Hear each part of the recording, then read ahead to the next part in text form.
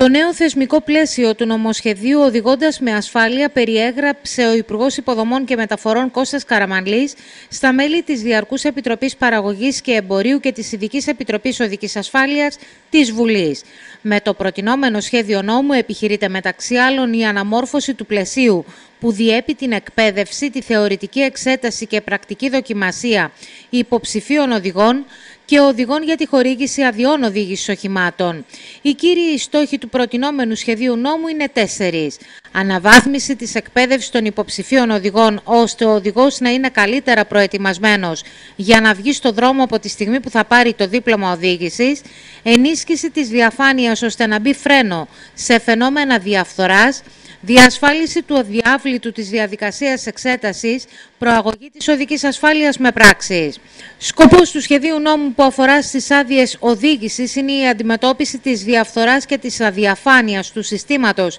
εξετάσεων για τη χορήγηση αδειών οδήγησης, ο εξυγχρονισμός της εκπαιδευτικής ύλης και της δοκιμαστικής διαδικασίας με γνώμονα την προαγωγή της οδικής ασφάλειας της χώρας μέσω της διαμόρφωσης ενός σύγχρονου πλαισίου θεωρητικής και πρακτικής εκπαίδευσης και εξέτασης των υποψηφίων οδηγών, καθώς και του καθορισμού ενός συστήματος ελέγχου και εποπτείας των διαδικασιών και αξιολόγησης των εξεταστών. Στο πλαίσιο επίτευξης των παραπάνω θεσπίζονται μεταξύ άλλων θέσπιση νέου κατώτατου ορίου ηλικίας για την παρακολούθηση θεωρητικής και πρακτικής εκπαίδευσης τα 17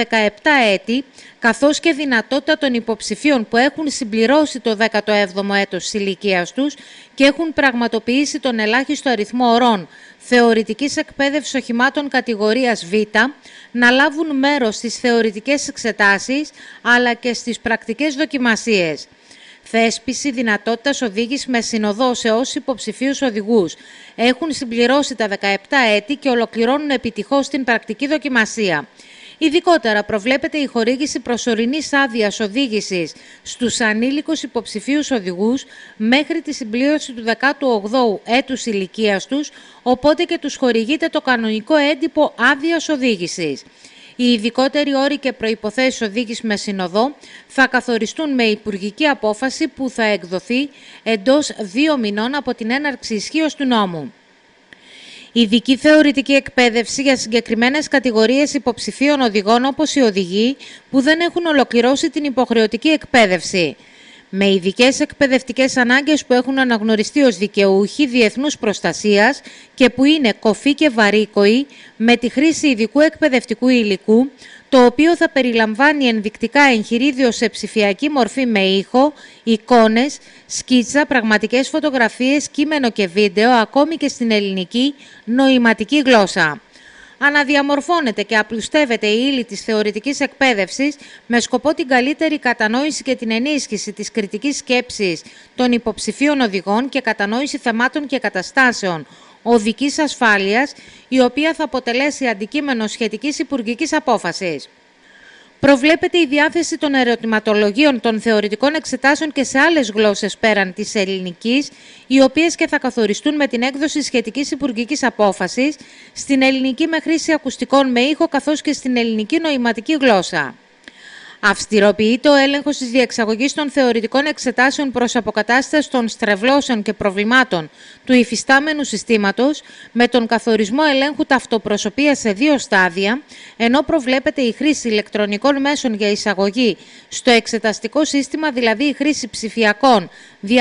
διαπιστευτηρίων με δυνατότητα ταυτοποίησης δύο παραγόντων μέσω της ενιαίας ψηφιακής πύλης της δημόσιας διοίκησης. Καθορίζεται νέο πλαίσιο πρακτικής δοκιμασίας ενώ προβλέπεται για τους υποψηφίους οδηγούς το δικαίωμα ελεύθερης οδήγησης έως 5 λεπτών χωρίς να υπόκεινται σε αξιολόγηση εφόσον το επιθυμούν, ώστε να εξοικειωθούν με το όχημα στο οποίο θα εξεταστούν για την εξασφάλιση της διαφάνειας, της αξιοπιστίας του ελέγχου και της εποπτείας, της διενέργειας της πρακτικής δοκιμασίας των υποψηφίων οδηγών, αλλά και της προστασίας των προσωπικών τους δεδομένων, η πρακτική δοκιμασία καταγράφεται με τη χρήση οπτικοακουστικών μέσων. Οι υποψήφιοι οδηγοί έχουν δικαίωμα να υποβάλουν ένσταση κατά του αποτελέσματος αποκλειστικά με ηλεκτρονικό τρόπο συμπληρώνοντας ειδική ηλεκτρονική προτυποποιημένη φόρμα. Προβλέπεται σύστημα αξιολόγησης της διαδικασίας πρακτικών εξετάσεων υποψηφίων οδηγών, καθώς και του έργου των εξεταστών από την αρμόδια οργανική μονάδα